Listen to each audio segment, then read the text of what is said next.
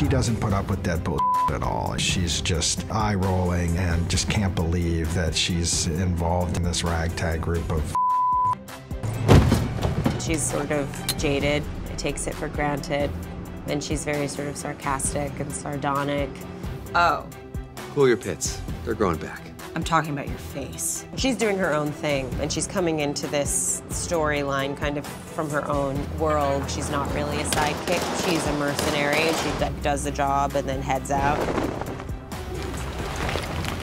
and yet ultimately learns that that's exactly where she fits in. You know, that's exactly who she is, and and she too finds her family in, in Deadpool and, and Cable and Colossus and and this whole group of what will eventually become X Force. I think we'd read like 30 different women for the role, and as soon as Zazie walked in, it was over. I mean, I think she was halfway through her first page of dialogue, and I remember looking over it at one of the other producers and Rhett and Paul, and just going like, and Dave Leitch was just nodding his head in the, in the back. Yep,